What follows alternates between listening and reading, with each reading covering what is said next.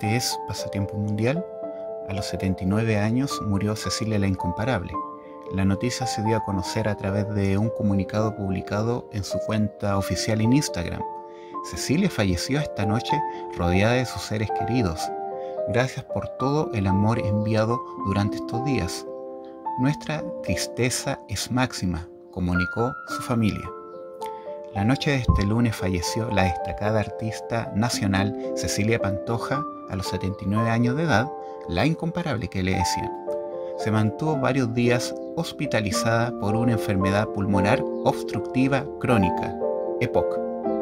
Tras la pandemia, Cecilia la incomparable se alejó de los escenarios producto de sus problemas de salud.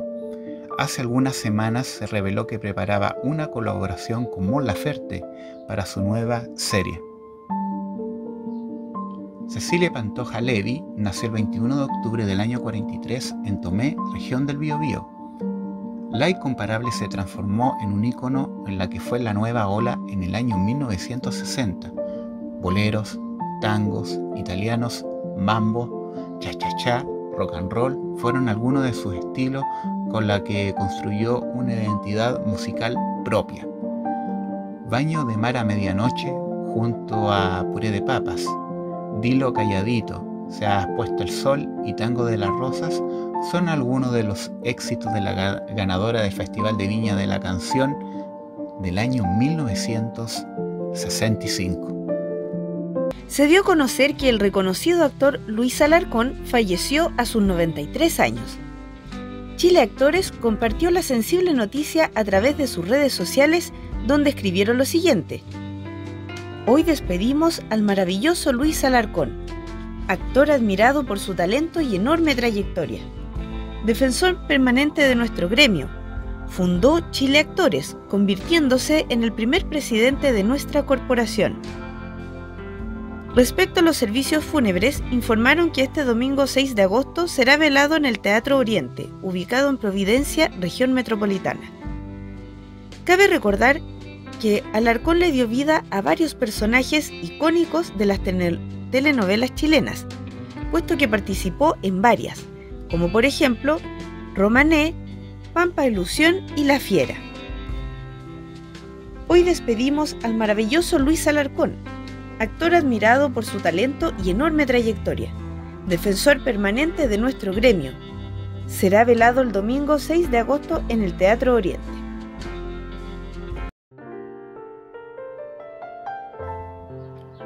Este es Pasatiempo Mundial. Este domingo 22 de octubre se dio a conocer la muerte del emblemático animador de televisión chilena, Enrique Maluenda, a los 88 años de edad.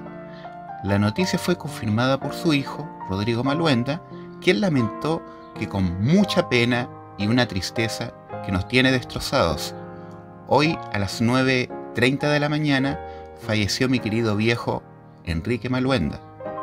Según el relato del hijo, el comunicador partió inicialmente con unos problemas hepáticos. Él fue trasplantado hace algunos años atrás y estos tienen periodos de duración. Entonces yo lo había pasado con creces y eso lo llevó con complicaciones renales.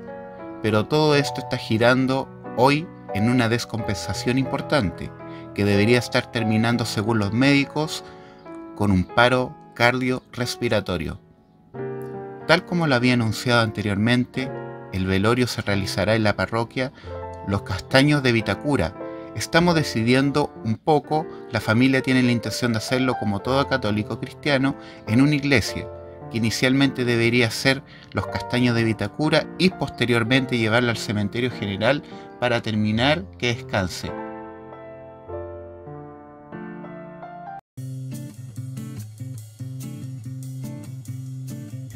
Es Pasatiempo Mundial, suscríbete al canal, dale like y comparte. A través de la cuenta de Instagram, el presentador Francisco Saavedra reveló la muerte de la actriz Grimanesa Jiménez. La intérprete es recordada por participar en teleseries como La Torre 10, Marrón Glacé, Papi Ricky y además de dar vida a La Jirafa, la entrometida vecina de los Venegas. Asimismo, en la pantalla chica fue parte de un par de episodios del teatro en televisión y también fue una de las concursantes de la Masterchef lo que luego la llevó a ser invitada a la Divina Comunidad. Adiós querida Grimanesa, gracias por tantas interpretaciones, por tantas risas y tantos consejos. Jamás olvidaré esa temporada de teatro en que la que me tocó ser tu técnico cuando recién comenzaba a estudiar. Un aplauso gigante para ti, remarcó Francisco Saavedra. En la misma publicación, el actor Pato Torres también lamentó el deceso de su colega. Indica Pato, tuve el agrado y la felicidad de trabajar tanto en el teatro como compartir con ella en el Masterchef. Siempre recordaré su alegría, querida Grimanesa. Mis condolencias a su familia, dijo el actor. Desde Chile Actores realizaron un comunicado en donde explicaron dónde se realizará el velorio de la actriz. Con mucha tristeza lamentamos informar el sensible fallecimiento de nuestra querida socia y compañera, Grimanesa Jiménez recordada por múltiples papeles en teatro, cine y televisión. La memoria de Grimanesa ya es eterna. Su velorio se realizará desde las 2 de la tarde en Sidarte. Informaron por ahora, se desconocen las causas de la muerte de la actriz.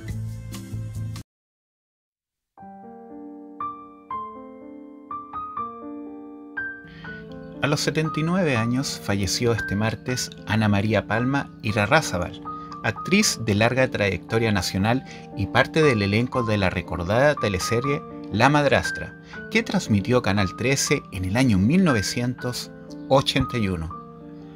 En este momento el dolor extendemos nuestro cariño y abrazo a todos sus amigos y familiares y compañeros, con quienes recordaremos siempre la energía, tesón y fuerza de nuestra colega, informó Chile Actores.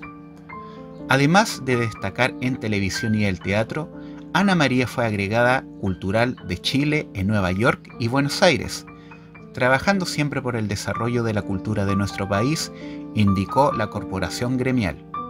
Su paso por distintos montajes teatrales y obras audiovisuales será inolvidable, destacó la organización. Su velorio se realizará en la parroquia de Santa Elena ubicada en Presidente Errázuriz 3786 en la comuna de Las Condes. Ana María Palma estuvo casada con el ex senador Adolfo Saldívar, histórico militante de la democracia cristiana, fallecido en el año 2013. Con él tuvo dos hijos, Adolfo y Ana María. La actriz fue simpatizante de la Falange, expresaba públicamente su oposición en la dictadura de Augusto Pinochet. De hecho, en agosto en el año 1980 animó el denominado Caupolicanazo, evento organizado por los opositores al régimen. En el año 83 integró la agrupación de Mujeres por la Vida junto a Moy de Toá, Fanny Pollarolo, Mónica González, Patricia Verdugo, María Olivia Monkever, Mónica Echeverría, Ana González, María Maluenda, Carmen Barros y muchos más entre otras personalidades de la cultura y política.